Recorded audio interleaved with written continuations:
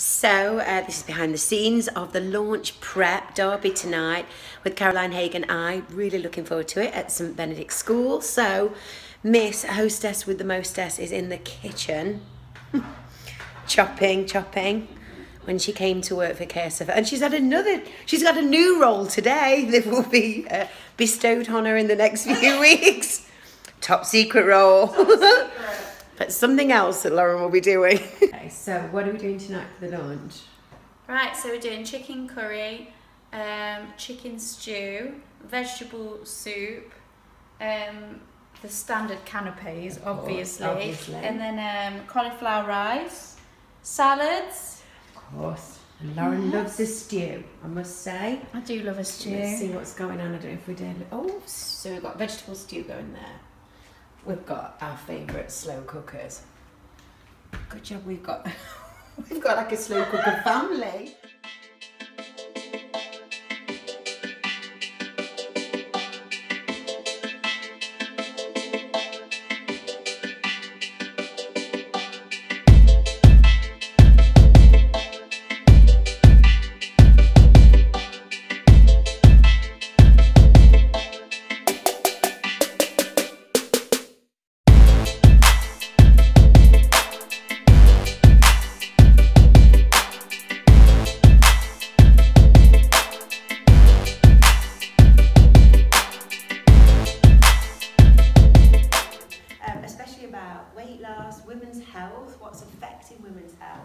Um, and really lots of tips and strategies that you'll be able to take away and really start implementing into your lifestyle. As we're going forward into 2017, we're seeing just a massive into the root cause. You know, if you've got health niggles, you know, let's pull out all this inflammatory food just for a short time and see how you feel.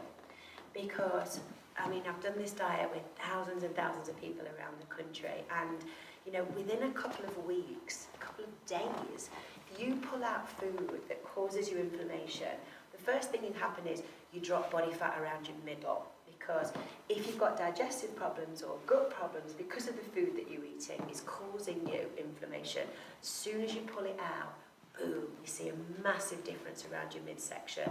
You really do. Um, because the cells become cleansed, the liver becomes cleansed, you start to have more energy because your body's not having to fight this inflammation. You know, so if you're perhaps dealing with any skin problems, eczema, asthma, massive ones, they probably could be to do with dairy. So if you pull the dairy out, change your milk for your almond milk, you know, change your margarine, get rid of all your fake margarine, go back to real butter, you know, your um, grass-fed butter, your Kerrygold butter, that's the best one. Dress cooking your food with coconut oil makes a massive impact internally and you see the, the difference really, really quickly. See her picture, she looks phenomenal. She's trained twice a day, but I don't know how. She's been getting up at four, doing a cardio, you follow her, and um, you know, she's just got such a wealth of experience. So I'm really excited that she's going to be running the class here. So I'll hand you over to Caroline and she'll tell you her story because it's really interesting. Thank you. Yes, I can get up on stage in a bikini and be judged by a panel of people, but actually getting up and standing and talking in front of uh, all of you is actually very, very nerve-wracking, so uh, do bear with me. But um, yeah, I just want to just tell you a little bit about me, because anybody that may have seen my pictures has, you know, perhaps seen the shape that I've actually got in, but I just want to sort of share that that's not always been my journey. And um, I didn't do it by myself either. Yes, I was the person that was committed and disciplined and um, very focused on a goal, but you know, I did it with the help of somebody that educated and helped me. So that's why now I want to put myself in a position where I can help and inspire others.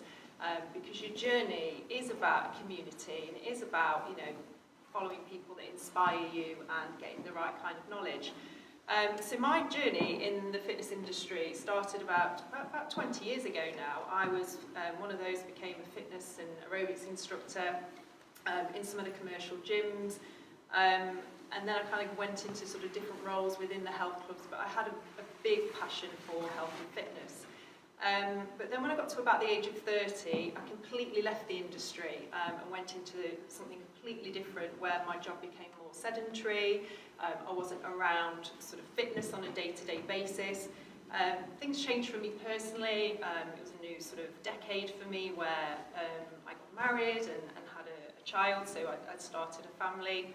Um, and I think it's sort of at that time for me personally where um, And it does happen to women where you actually lose your identity a little bit because you suddenly become a mum and a wife and you, you're juggling your, your job as well. And you go from being a single person to suddenly responsible for, for a family. So it was probably at that time and also having had a child that my body just didn't bounce back quite as easily as perhaps what it did um, in my 20s. Um, definitely had a lot more ailments. Um, suffered from things like a low back pain, um, I had a hip issue after having uh, my little boy, um, IBS, frequent colds, just generally was at a stage in my life where I just didn't feel great, um, didn't particularly like the way I, the way I looked. Um, so that really took me on a journey of, of self-discovery. I sort of seeing 40 in the, in, the, in the future and thinking, it's only going to get harder if I don't get control now. So I went through some personal issues um, where I went through a divorce, so I ended up becoming a, a single parent and just became responsible for everything, you know, on my own, which, you know, it's, it's quite, was quite a tough journey.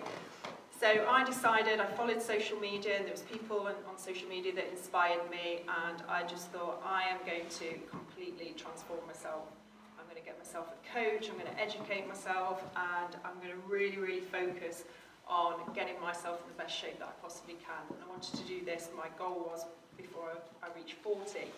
Um, because back when I trained in my younger days, I never made any correlation between fitness and nutrition. I just thought you cut back when you want to lose a bit of weight and you exercise more. And I think we've all sort of, you know, we've, we've all been there. Um, so, yeah, I um, learned everything that I possibly could and used myself as a, as a canvas um, to really find out what it takes to get in amazing shape. So I was fortunate that I had an amazing mentor and it enabled me to get on stage and compete in some, in, you know, some shows. Um, but I want you to know that, you know, all of that I did alongside running a family and working full time. So I do understand the daily stresses and I do understand that people need motivation and you need, you know, you need help with it all. So I took this year off competing. Um, I'm just further advancing my nutritional studies at the moment because um, it's just something that I'm massively passionate about and I decided to collaborate with Rachel and, and join in the Kickstart sort of lifestyle because what I do in terms of my fitness journey is extreme and I, and I know that and it's not for everybody. Um, but I believe that Kickstart is for all women and it's something that all women can, can achieve because we all want to strive really. Um, we want to strive for balance, we all want to be happier, um, you know, we all yes, people generally, if they come to these types of classes, they want to lose, they want to lose weight, um, but you just want to feel more positive. Um, so for me, it's about taking you on a journey, educating you. Um, I, over the eight-week course, um, yes, you will come and you'll do a class and you'll have um, nutritional information, but it's really just for you to have somebody to be accountable to. Somebody that can help you achieve whatever it is that you want to achieve. So I'm really excited to be part of um, the team and bring it to Derby, which is my hometown. Um, and the good thing about it, because like Rachel was saying, when people um, decide to, to change or they want to go on a diet or a new diet, um, you definitely do have this thing in your mind where you think, right, I'm going to cut back, um, I'm going to do more.